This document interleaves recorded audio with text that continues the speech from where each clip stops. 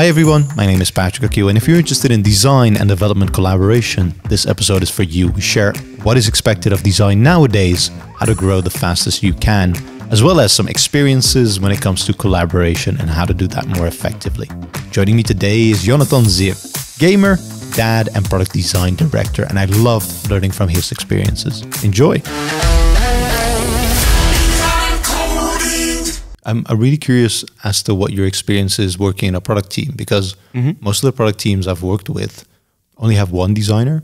Whereas then with a bigger development team, I feel like the design is kind of the funnel for the work that needs to be done, as well from a visual perspective, as well as kind of design and market research perspective, right? You mentioned A B testing as kind of testing your outcome and testing your assumptions. Yep. But still, we want to do enough research to make sure we're actually building kind of the right thing yeah. before we then test and optimize that, which is a whole lot of work, I feel like. Have you worked with product teams where you were the only designer, or have you worked yeah, with a design course. team as well? Um, so I, I, worked in all uh, setups. Yeah. Um, so I, I, also when you talk about you know agile and waterfall and all this stuff and fake agile, that's also a thing. Waterfall agile. Um, but yeah, I think um, there's there's a few different setups. Mm. There's like the really tight tight team, yeah, and that's usually like one or two designers working with uh, front end, back end, security, DevOps. You know, depends on the um, on the project or the if you work for a client, depends on the client. And then you're really tight. Mm. So I think you you also talked to Michael Dewey, my also previous colleague. Yeah. Um, so we worked together in a um, in this kind of product team, and we were really, really super tight. We had really short time frames. It was an innovation project, so there was no exist. There was nothing. Yeah, you have to build everything from scratch, and this is where you have to really collaborate closely. And uh, we did things like uh, dev design pairing when we sit next to each other, and instead of me designing something fancy on my Figma and saying, you know, hey, fancy front ender, make it happen, we just said, okay, this is the general concept. Let's sit together and figure it out. Mm. And then like, yeah, I can do this, I cannot do this. So how do we compromise this? And this was a really nice exercise of finding the balance between feasibility and, and experience. Yeah. So this is a really tight team, like tight product team example mm. that I, I, also, you know, sit down with the uh, backend there, understand what are, what is the information he's getting, uh, what kind of APIs does he have, and and trying to see, okay, how do I use it in the design? So it's actually the other way around. This yeah. is the information we have. We had this kind of financially heavy uh, solution, and I needed to understand what are all the figures we can actually show and how do we arrange them and what makes sense for the user. Mm. So that means I need to really know what we can and cannot, you know, get. Yeah. So I can make again my fancy design, come back and say make it, but this was more like a tight collaboration. Mm. So this is of course what I prefer, right? This is the I see it as an ideal situation, but sometimes the uh, again going back to the scale, the big uh, solutions, uh, you find yourself in a corporate mm. setup. So there's a bit more separation. So there's a design team mm. and there's a development team. Yeah, and um, this is this is of again you have this same conversations but there is a lot more of siloing of the designers kind of work with the brand guides and uh, with the vision and making something they think from experience and visual perspective is ideal. Mm. And then you say, okay, let's start a conversation. Let's bring in uh, the development team and discuss and see, okay, is this even possible? What is the effort? Uh, and then we're starting this negotiation of, okay, if we make this, it will take us three sprints. Is it yeah. worth it? And this is a, again the, the, the, sad part of being a designer that you have to compromise a lot for mm. visibility but um, yeah so that's that's another setup when basically you have two separate teams.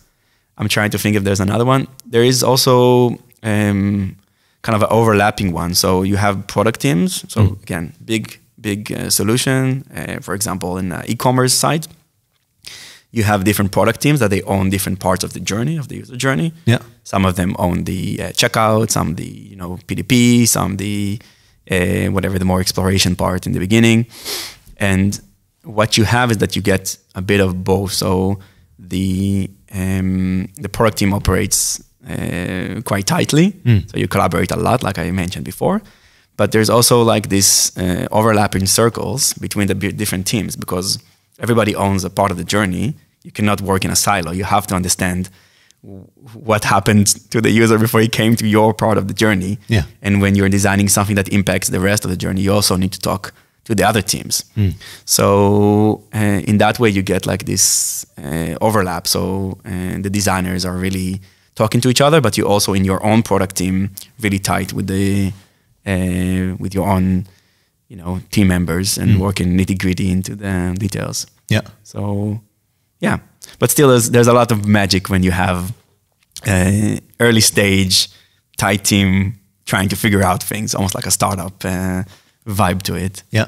Um, yeah, If I look back at my own kind of experiences, I've only had the, let's say the, the product team, the one that you're most fond of, that, that's been my most experience. okay. I've only had ones where there was actually a design agency. And since I worked at a consultancy, that was also a different company as a whole, which was then feeding our team with fancy designs mm. in a way that we had to have those discussions of feasibility and then duration as well when it comes to time and investment, which was very hard to work with. So then I always got the preference of, okay, having people in the team to then work Yeah. together with and have those discussions. And I think compromise from both ends because engineers also love some engineers over engineering a solution and making it perfect from an engineering perspective. And I think compromising and, and having some middle ground on both ends, as well as com- from kind of a business value creation standpoint, um, is the best solution. Even though it's yeah, it's hard to do that Yeah. and to, to make that happen in that way. And, and when you work with the agency, basically, at what phase were you involved? Is it just they finalized the designs and just threw it over the fence and said, "What do you think?" Or was it there like a process where there like stage gates? What yeah, we kinda- we knew what was coming functionally, but then they were very much involved in how to do that visually, and we were then in- involved more so at the end when they already imagined mm. and mostly created almost all the designs. And that was the hard part because then we had to be like, okay, you get something, and from a development point of view, you're like, okay, either you see holes and you, then you have to shoot and be like, how does this work? Then Yeah. they're like, okay, we haven't thought of that. So that back and forth would take the longest. Or you would be like, well, I had something way simpler in my mind. And then you have that discussion of, okay, wh- where are you going to go here? Are you going to go towards the end solution or something in the middle? And then product will have to jump in between as well and make a decision at the end. Yeah. And I think something people forget is that we are all also users, right? We are also we are also consumers of our own product, and uh, something that I liked when it happened in in, in either on clients or uh, in a product team is that you come much earlier with your concept and you get everybody in the team regardless of their um, you know their role Yeah. to poke at it. And it can be from your own perspective. So if you're a front ender you would say yeah this is going to be difficult to make. If you're like uh, if you're saying okay this is going to be hard to cash in like there's a lot of information in this table. This is practical things but also i love it when like the security engineer says like yeah i don't get this. It's not clear. Yeah. uh, maybe consider doing it differently. Because because that's super valuable and if i um, if i just say yeah no he doesn't know anything about design i would lose a lot of insight. Yeah. so again i'm, I'm not a big fan of the agency working in the dark coming in throwing in designs. I really like the product team like you mentioned. Uh, but there's also ways of introducing it into your process that you're getting the whole team on board with your designs. Yeah. because sometimes maybe there's logic to to all the designs that they made Hmm. but you were not there you, you don't you didn't get the whole process of how did they come up with this Yeah. so you're just judging the final outcome Absolutely. and yeah of course of course maybe there's smart people that made great choices but you're kind of like i don't get it No. So- that's the that's the worst part uh, or the worst situation to be in. and you're not really e- empowered in that sense you, you just like uh, uh how you call it like you're just on the delivery side just make Yeah. it Yeah. and that's that's not fun to anybody No, that's uh, I agree with that. There's a thing you mentioned about feedback, which I think is interesting because I have the same challenge from a product perspective. Whenever we deliver a feature, whenever we deliver value, we get feedback from the users. Sometimes very direct, sometimes indirect, depending on the, the size of the organization. But there is always feedback. And especially if you're building an internal tool for an organization and those users are right next to you, everyone expects their feedback to also be picked up. And I feel like from a design perspective, it's kind of the same, right? You you create something, you get feedback, but I feel like it's very hard to balance accommodating for the feedback as well as kind of believing in your own vision and being like, no, this is for these reasons. Therefore, the feedback we're not going to incorporate in that way. Yeah. Um, and, and this is again when you compromise, Mm. right? Because, um, well, if we had data about everything, Yeah, that would be easy. like I, I just did a, um, a redesign for, for, for a journey. Yeah. And it was amazing because we had so much data about behavior and so much insight about, you know, where users are coming from. And we had both uh, direct uh, uh, feedback from users, like what we call um, qualitative uh, um, Data. data. And we also had quantitative, so we also saw yeah, what converts better, where do we funnel, and, and etc. And what it made is that um, basically when you design at the end, almost all your decisions are based or backed up by something. And this is really, and this is really a unique uh, snowflake kind of situation because many times there's a lot of holes Yeah. also in this case there were holes but on, on the bigger topics there were quite a lot of things to support you in your decisions so when somebody comes to you and say you know somebody from the um, from your own team saying like yeah i don't like this or yeah i think we should do this Yeah. then you can have the conversation and say okay but we have data supporting this kind of approach um, even doing benchmark you know looking at 10 other journeys that are exactly the same you, you can always say they are all wrong, right? But it does give you a sense of saying, yeah, if we do this, this is really different from what users are, are used to. Yeah. There's there's more risk there. So this this is where, where I like it. I never say no to any feedback and always try to understand the, the, the underlining issue that the person has, right? So mm. maybe you you finish something and you're quite confident in it and somebody comes with like a feedback out of nowhere and but it's yeah it's always good to just try to understand and ask why why why why and realize okay they actually have an issue with something else or they didn't understand or they don't have the full picture Yeah. so yeah but it, it, it is quite rare like always we we have a lot of assumptions in what we do and even when we validate even when we go in and do uh, you know interviews or even try to collect um, you know track user behavior there's always interpretation Yeah. And bias and etc so it's never perfect but uh, that's why we still have a job it's never perfect so you know Yeah. we need to improve it I really like that you say the the data wins, right? At the end of the day, whether that's market research before and then based on that you foundationalize your assumptions or you A B test and you figure out, okay, this decision actually, even though everyone think thought it wasn't gonna work, it actually made the most sense Yeah. out of the data. Yeah. Then you have to make those decisions. And at the end of the day, it is easier the more data you have, I feel like. yeah but, but there's still human decision at the end Yeah. So even- if the data said, okay, we should really go for whatever, make the font huge, right? we, Yeah, we all love that. Can you make it bigger? So yeah, data showed that this makes all the users notice this. Yeah. But then you're really isolated on one thing because mm. once you made all your all your users or customers, users is a tricky word. We will, we can discuss it later.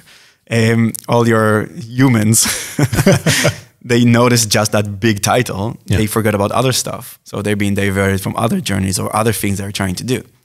So even with data, you can say it's it's always always wins, but it's also how do you in what context you put it in, and this is the interesting part, and this is where, as a, a user experience designer, you can really bring that overview of kind of challenging and saying, yes, we have the data, yes, we have your opinion, yes, we kind of know what the user is trying to do, but uh, let's let's look at the bigger picture, let's Yeah. analyze it a bit deeper.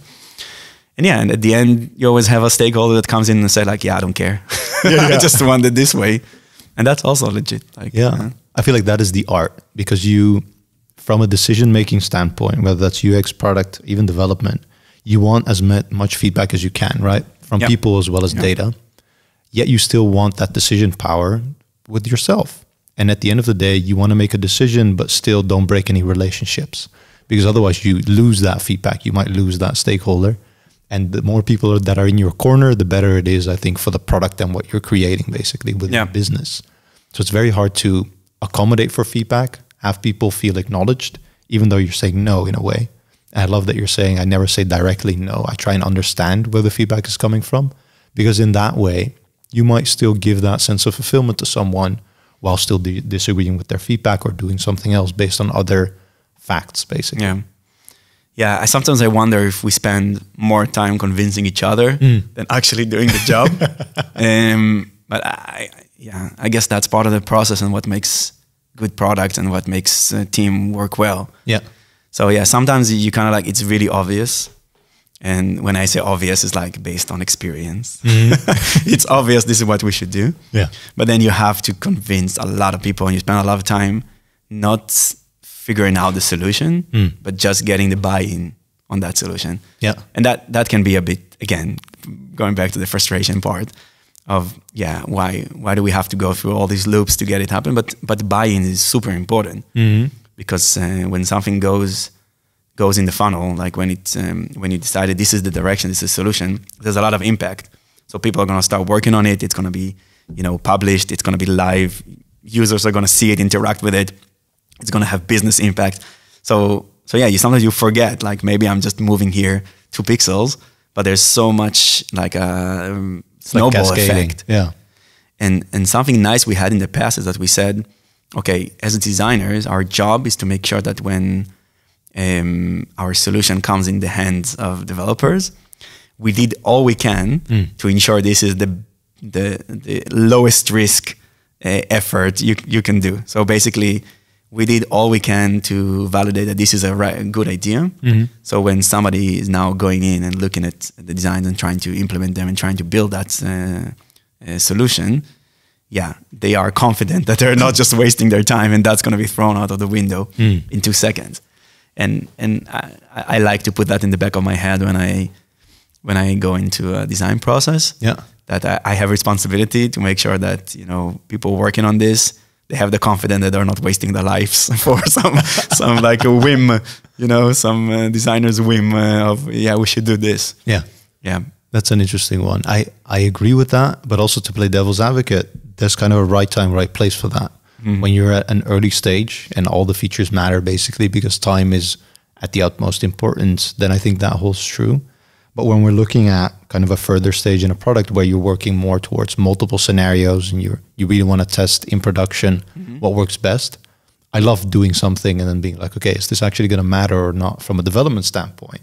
And then I have no problem throwing it away if it doesn't work Yeah. we had this kind of optimization in a checkout and we had the assumption together with design that okay from a checkout form perspective we can make it easier for people to see what data they need to fill in.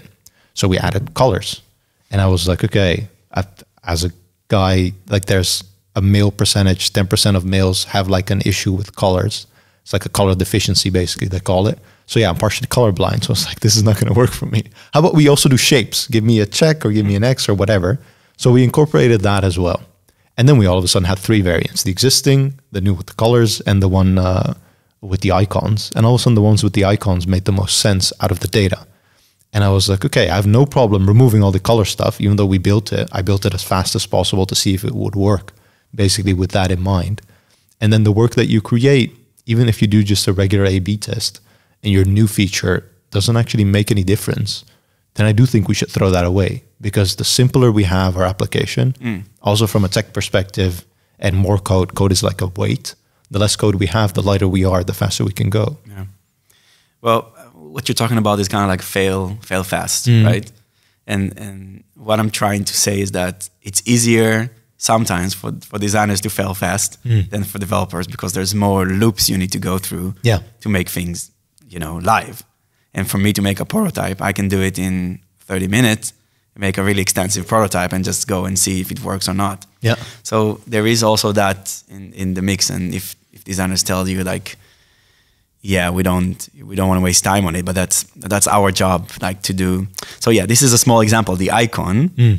But when you go in like bigger feature or bigger change, Yeah. then that's going to be a lot of effort for you to make it to make it live, right? Very true. Yeah, and and for me it will be quite fast. so It's yeah. like unfair how fast. Yeah, yeah, yeah. Well, but it's not it's not the real thing, right? Yeah. There's there's a lot of tools now to make it uh, to fake it as much as possible. Yeah. But it's different. But I, I, I, of course, everybody in their own lane should try to experiment and and and basically evolve their products uh, as much as they can. Sometimes you are getting caught in all this process and all this, you know, everything needs to be uh, evaluated. You know, we need to refine it before we actually go forward, and you kind of feel like, okay, I just, yeah, I don't have the opportunity to just experiment and try things and just throw it into the wild and see what happens. Yeah. But yeah, that's um, uh, again depends on the culture that you're working in Absolutely. and how much you empower people in the in the team to do these kind of things. Yeah, for sure. Yeah. I was thinking of kind of the the skill set nowadays of first of all developers, which are quite broad. Yep. You have front and back end data engineering, more so AI, especially nowadays, which is kind of mm-hmm. more booming. But from a design perspective, it's it's super broad as well. I've realized, and I don't think many people realize how broad it could be. Yet we might sometimes expect the world out of Yeah. in a product team. It could be one designer. From a research perspective, from prototyping to actually visual design, and then market research and user feedback at the end, like all of those could be a separate job in and of its own. Exactly. sometimes it's only in one person and they first of all have a preference they second of all have experience so what they're good at and then third of all probably want to learn a lot of what they might not be good at or be really go deep in what they're already good at and make that even better do you feel like it's it's too much right now because i've and it's funny i heard that recently i've heard the term full stack designer was like, Yeah. what is that Whoa. Okay. Terminology in the design world is a, is a it's a topic. If I start talking about it, it will never stop. And also, I only have my opinion, and it's really funny. But yeah, I call myself a product designer, Mm-hmm. right? If I go now to a company like Philips, a product designer is somebody making physical products. Yeah. So it's already I'm off. You know? I now work for uh, uh, an automotive uh, company, and when I say product, they only mean one product, the car. So, so that's just one example that it's also broader than just the design um, industry. yeah Um, there's a lot of yeah trends, and yeah, you you have the full stack designer, the unicorn designer, the uh, I can do it all. And if we're being honest, there's always for every designers there's a strong side and, and areas that they need to either get support or they are looking into doing more. yeah And this is the nice, I think the nice thing about it is that when it's not that harshly defined, there's more chance for you to kind of explore these other avenues. So if, if I call, uh, if I call myself a UX designer, right, user experience, then it means that um, either I do really early stage discovery and research, or like before we go into uh, visual design, wireframing and flow, you know, flow charting and all this kind of stuff.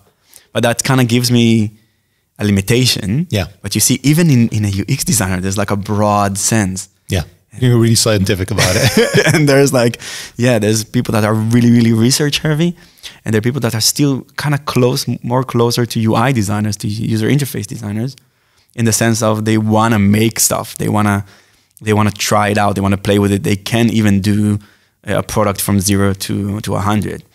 So I I have so many opinions about titles, and I think it's always about the person and how they frame their own expertise. Um, in a product team, I, I would say, like the, my current setup is basically I'm a, I'm a UX designer, but I also do UI work, and I have a whole uh, research team support me because it's a lot to also run the research yourself Yeah. and do the interviews, write, write the scripts, all of that stuff. So I, I feel like depends on the scale of the solution and the scale of the product. You gotta have support, and um, yeah, maybe you, you really want to learn about running uh, interviews. So if you have a, a researcher with you, which is another type of uh, I don't know designer, um, you can join them and you know take notes and learn and, and etc. But you you gotta have you, you cannot have everything on your back no for for for bigger project. But uh, yeah, I don't know how you experience it with your designers. And uh, many times when a designer tries to do a bit of everything, yeah, so, something falls. So we cannot be good at everything. no Um, even a full stack developer cannot be good at. yeah i know i know that exactly. So, yeah. Um, but it is it is it's an interesting topic in the industry, and uh, it went through a lot. yeah You had in the past uh, GUI, designers and web designers and mobile designers, and like, why is it just limited to one platform? Yeah, yeah. So um, yeah, I, I, like to call myself product designer because it's kind of fluffy enough to give me a chance to do a bit of everything. Yeah, I think um, so too. Yeah, I mean, from a product team, I kind of know what a product designer would do or can do. Yeah, I mean, especially now from a product manager perspective, I like asking people what what they want to do because I feel like want is a big thing. If you mm. want to do something, you have, I mean, first of all, a passion, a certain drive for it, and I can enable you to do that from a product management perspective. I can see opportunities and put people in the right places to do so. Then also try and learn kind of what their experience is, so what they what they've already done in the past, what they might be good mm. at in that way, and I try and accommodate and leverage that to whatever we need to do. And if I see there's holes in there, then it becomes those are kind of the challenges we need to overcome. So yeah. also for design, right now we have a very large, I would say, development team, um, which needs to be needs to be fed with basically work, uh, and the organization is more and more. I feel like more organizations I work with, which are software heavy, really rely on market research and design, yeah. and are very design driven. First of all, I think that's a really good thing, right? We we cannot just exactly as you said, the time investment to create software if it's the wrong thing, is a big investment. So we try and do enough research to make sure we're building the right thing, and then still we can experiment and see how to tweak it. But at mm-hmm. least we know everything is feasible, right? We do our best to do so. Then it becomes a bottleneck if you have only one person kind of feeding the development team in that. And then there's still a preference of, let's say I have a person that loves to do more so the research perspective and they're balance in what is feasible is different or their appetite for what is feasible is different than from either the business or the development team mm-hmm. and then we have to manage that i feel like that is uh, that might be the current situation i'm in whereas the bigger team you have the more work kind of needs to be there because more work can be created so then the funnel basically which is the design team that gets smaller and smaller and more narrow in that yeah. way yeah this is actually a rare occasion that mm. the uh, designer is behind development. Like usually the designer is like quite fast to create a lot of concepts or a lot of ideas. Yeah. And then that's being fed quite, you know, quite a lot. So you're in a luxury or that designer maybe feels the pressure, but uh, he or she feels the pressure, but uh, yeah, it, it, at least there's the, the, the firepower to uh, make it happen. Yeah. Yeah, but I do recognize what you're saying, and you always have to decide where's your focus. Are we early stage, we need to learn more about what we're building? Are we kind of like in the middle? Is it about like what is the critical features that we need to add? Or is it again the more later stage of really small incrementations of, of refinements? And each one of them has their own challenge and, and kind of different slices of the pie yeah. of the time you need to invest. But um, yeah, it's always it's always better to work with more of your kind around you. You know, mm-hmm. that's how we are. We're stronger as a as a, as a tribe. Yeah, yeah absolutely. Um, and the same for designers. Like it's it's. I find it really hard to be a solo designer mm. and just work in isolation. But Even how, if how often has that happened? Because I feel like that happens more often than it should. Um. Wow. It's it depends, but yeah. In it it happened in, in, in my career. Yeah. but I always found ways to to bring other designers closer mm. and collect feedback and etc. So even you know you work as part of a company. So if, if you're an agency or if you're a consultancy, yes, maybe you find yourself in a product team alone. But then there's other product teams in different clients or different areas of the organization. Yeah. So you do need to find your your uh, uh, yeah counterparts. Kind of like who can I ask feedback from? Mm. I, I cannot design more than two hours without getting somebody else to look at it. Mm. I, I feel weird. It mm. kind of feels like, what, what am I doing here? I'm just, you know, like a cow eating their own. that doesn't make any sense. Yeah. Um, so yeah, so I always call in somebody. I even talking to somebody, like not giving them. They don't really need to give you like the most crazy in, um, feedback or insights, but you just need that collaboration. So when you when you're finding yourself isolated, there's ways to reach out to others. Now, what you refer to is actually doing the work, mm. and yeah, if you're alone doing the work, then it's also a lot of prioritizing. Yeah, and uh, what worked for me is that I know there are things that are low risk. Mm. So like core features or things that you know by doing quick benchmark, just looking at the competition, I know all of them have that feature. So I'm like, okay, I'm gonna reduce. I'm not gonna invest time in researching that. There's low risk. I don't need to validate. I will just make that. Then that goes to the development team. they have they have enough to run with, and then I can really take the risky uh, areas of the product and explore them Yeah. or the more innovative um, things. And, and that's also a way to mitigate that uh, time management. But you always start by, okay, this is a low hanging fruit. Let's just get this done. Yeah. And then I don't have the pressure of Time. figuring out what to do. Yeah, because research takes so much time. Yeah, yeah. Um, I know how, how, how many people know, but just getting.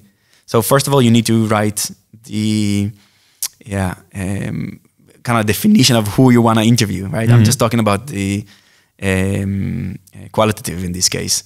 So you need to explain exactly who you want to interview, right? Define your your persona or define your target audience. Then you need to somehow find those people, Yeah. right? And then you need to book their time. People are busy; they don't have like so. No. It's if you're if you're if you want to get like eight people to talk to, it's going to take you two weeks to get- just schedule them. Yeah.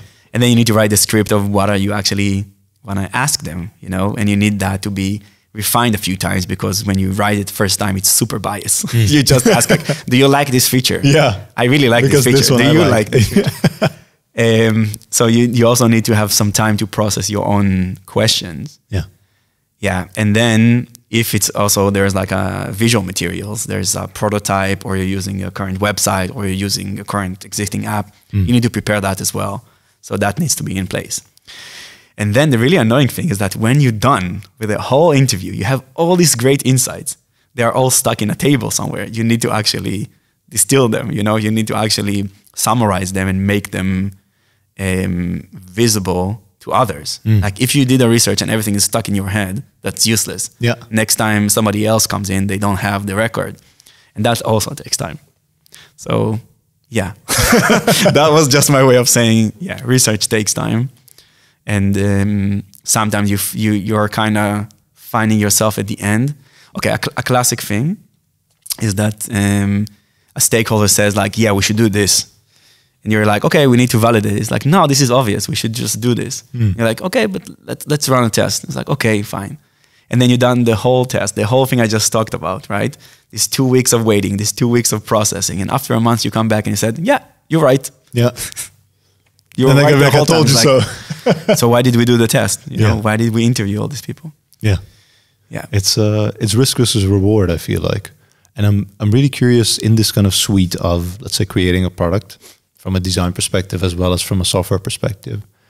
When do you involve then software engineers? Because you said you already like that kind of dev development pairing session, for Yeah. example. But I feel like I'm also biased. I feel like if I were to be at the research side, I would also gain valuable insights in course. understanding whatever we're doing here. Yeah, I'm I'm I'm on your side on this. Mm. Um, again, in, in more tight teams, uh, I had um, the whole team members. They can join the interviews uh, basically as a note taker. Yeah. So they're in the background. They're not visible to the uh, to the um, interviewee. Um, and they can also ask questions like, "Hey, he just said this weird thing. Can you ask him?" And I'm I'm getting a text message of like saying, "Okay, this is an interesting question from my front ender. Let me ask that." Yeah. and it really gets them in the mindset of what we're trying to do. So even when they are now we're discussing a new feature, they say, "Oh yeah, I remember when we interviewed David. Um, you know, he said that. So this is really critical. But I actually think he meant that he wants this feature. So can we tweak it?" So you're getting all that cycle, and this is perfect. But it's it's again, it's about of um, time investment and uh, return on that. Yeah. So your your team members can write code, or they can sit and listen to somebody brabble about uh, a feature. Yeah. So it depends how stressed you are. Um, yeah, talking to you as a product manager. yeah, now. yeah. No, I was thinking like I, I don't want to choose for people. Yeah, it's it's really hard if I don't choose for people, and everyone all of a sudden decides we're going to do four hours of interviews. Yeah. Then yeah, we don't have much time in the in the day left, basically. Yeah. But there's the also part. recordings, right? So Yeah. you can also look at recordings afterwards, or that uh, you make sure the designer uh, kind of present the results and collect questions, Mhm. or even even from the script uh, phase. So before you go into the interviews, you kind of present to your team, this is the questions I'm going to ask. Yeah. Is there anything else you guys want to, you know, ask about? Yeah. That can also be a way to kind of get people involved. I like that a lot. Um, yeah, in general, the closer you are, the better it is. It's like, uh, yeah, there's no way around it, huh? I, I mean, I fully agree. It's just, yeah, from that product side, it's really hard because I feel like everything is like risk versus reward and trust. Because if I if I do enable people, I trust them to do their best and stuff like that. And everyone has trust by default. So then it's just a risk versus reward. How much do we get based on this, based on X amount of people joining extra? And right now we're very much okay, the team is completely new. It's also a bigger team. Everyone's getting used to everything. So I feel like we need time basically. We can we can we need as much time as we can get. Yeah. Also to understand what we're doing. Because this investment right now, especially when a team has just formed, way of working, creating value, is gonna return in the future. As long as the team remains stable. That's the big asterisk Yeah. there. So then I'm trying to give everyone as much time as they can, also when the domain is most complex, to figure that out. And then, yeah, I feel like I'm just postponing those risk versus reward decisions for later on. At some point, I feel like okay, we we do we will need to deliver, Yeah. but right now we're still uh, in a very Uh, fresh domain. I really like it, and and I think a lot of product managers or team leads are underestimating the the bonding or kind of like the investment in the culture of a, of a team. Yeah, uh, before they go and they start like crunch time. Mm-hmm. Because if you know if the team does not trust the the designer that they're doing like the best job they can or that they appreciate their effort, so they they think about what they uh, follow through, you're gonna get a lot of friction. And the same when um, the, the designer thinks like, okay, just the fronters are just lazy. They don't want to do it. It's a lot of effort. I want these fancy micro animations. Why are they like shooting those down? Um, then you are getting like this conflict, and then people will try less, and it will be less productive. So, um, yeah, getting that tight team feeling is is super important. yeah, Yeah, but it's also a bit of luck. So, um, it's like magic. yeah, yeah. You just need to get the right people in the right um, mindset. Yeah. And uh, yeah, yeah, I don't know how to do it. I uh, I did have one kind of final train of thought because I thought this was interesting from a product perspective. I recently had a guest on, or kind of recently, Bandon, and he said from a product perspective, he's always been in this payment domain mm-hmm. because it's just interesting, and he's gone from country to country, so he's seen various stages of payments being available to people. And I think about myself from a development perspective. Right now, most experience I have has been in e-commerce but I do not want to do more e-commerce. Like I'm, I'm kind of fed up with it. I want to do other stuff. Yeah. And I feel like from a design perspective, you you have these tracks where you can go really deep into the same domain and still go from either country to country, company to company, and see various stages of that. Take all the domain knowledge with you and leverage that in whatever you're doing. Or like kind of my developer experience, be like, okay, I've seen that. I want to go to the automotive industry and Yeah. figure that out, or I want to do e-commerce, or I want to do whatever. On which track Um, are you? uh, before I say which track am, am I, I will contradict you and say I think designers are exactly the same. They don't wanna stay in their you know in their domain for a long time. Yeah. we we like to specialize, but then it's also really nice to change industry or change like a whole different. You know, if you if you're working on apps for five years, it's not that you want to just keep on doing that. Or I love it when job uh, description says um, e-commerce experience or banking experience or like. Yeah, if somebody worked in banking for eight years, they don't want to do banking anymore. like that's the whole point But they're really good at it. of course they're really good Yeah. at it, but they had enough of it, and that's that's the same. So I, I think in general, um, you like to take your superpowers Mm. and use them on different planets. I don't know if that's a, a good metaphor, but I love it.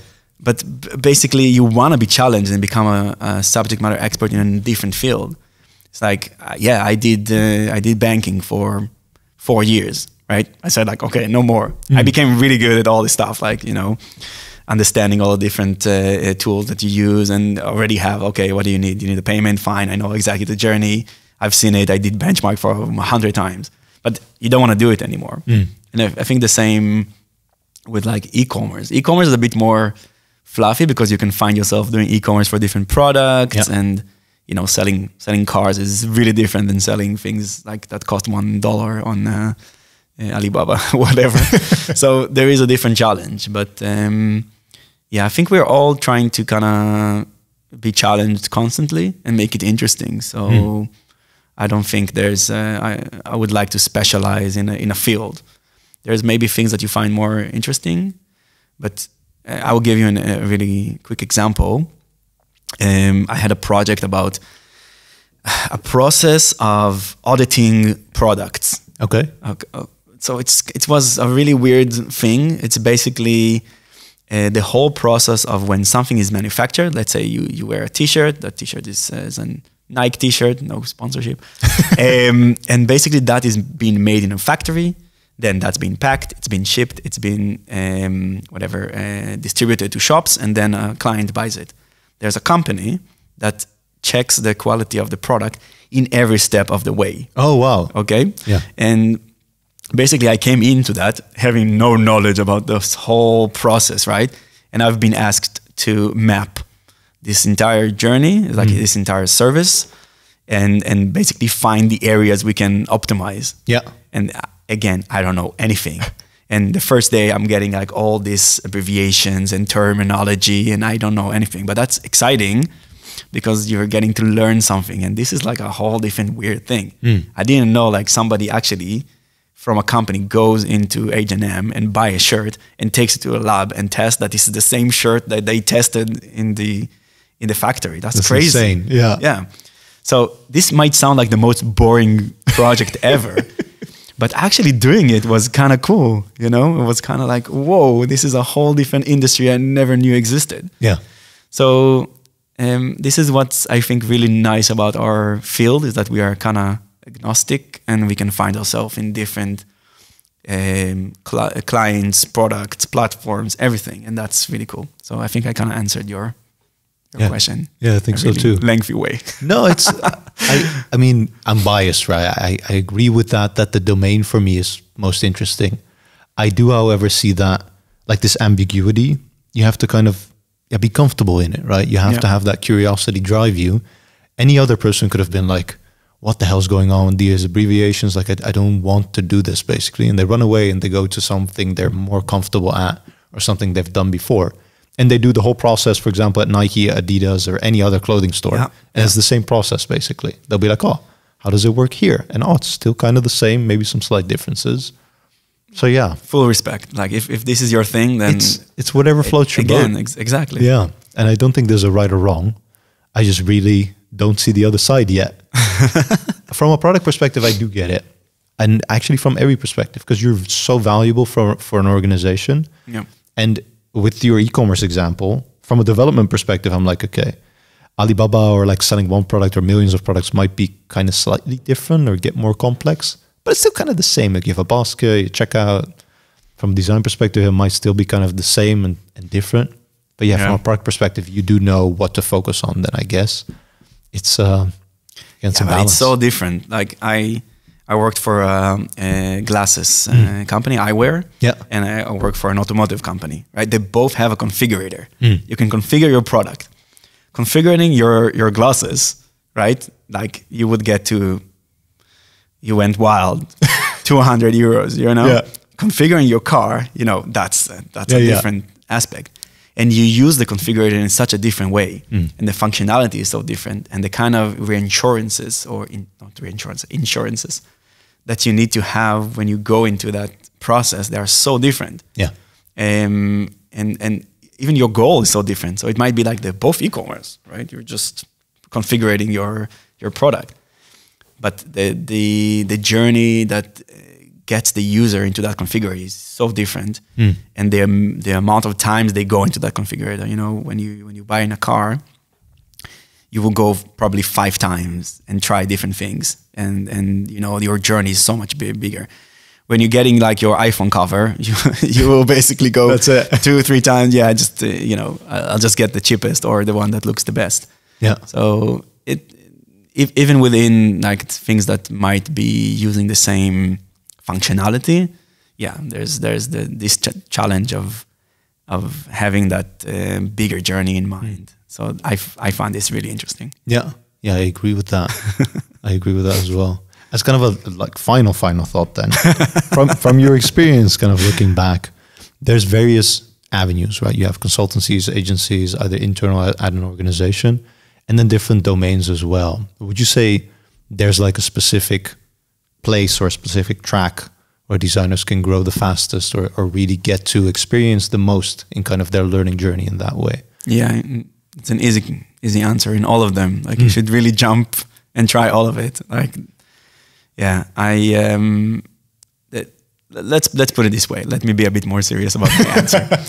um, yeah, I, I, feel like um, I, I, really try to encourage also my team members to explore and try different things. And it's also team setup. It's also you know, do you work for a product house? You for like a big tech company, for a small startup, um, famous agency, um, unknown agency. Like it's all so different. Um, sometimes you just take take, you know take your chances and if you go for an unknown brand and that brand really grows and you you win you know you you kind of grow really fast and you get to experience that and sometimes you actually learn more being like a uh, one of, of 300 designers because there's like this huge community behind you so yeah i think you should just try all of them mm. and find what fits you and we all again we have it's, it's, it's a long life, you know. We have many years of being in our profession, so you have the time to try it all. Um, yeah, I think that's uh, that's my uh, only smart thing I have to say about it. I like that a lot. Yeah. Take take all the experience with you, and then maybe you'll end up opening a restaurant in, yeah, uh, in the end. Years. And that's it. Cool, Forget about Jörgen. Yeah, thank you so much for coming on, Yonatan. This has been thank a real blast. Thank you for having me. It was awesome. Cool. Then I'm going to round it off here. I'm going to put all Yonatan's socials below the like button. So check that out. And with that being said, thank you for listening. We'll see you in the next one.